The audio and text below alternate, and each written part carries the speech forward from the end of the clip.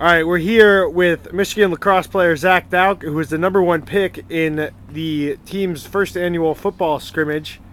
Uh, you guys, you were a member of uh, team two goalies and a fast guy, number one overall pick. You guys won the tournament. Just talk about your feelings. Uh, just really excited. I was really excited to play with those guys. First and foremost, I had the, the privilege of being picked by David Joseph, our head coach, and uh, Emil Weiss.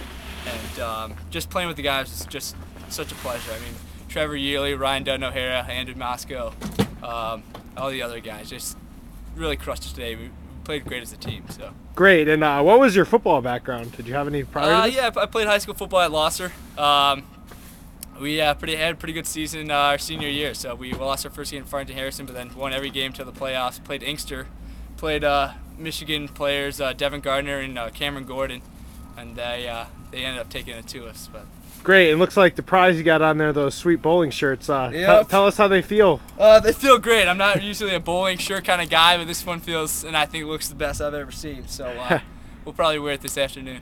Fantastic, Zach. Thanks for your time.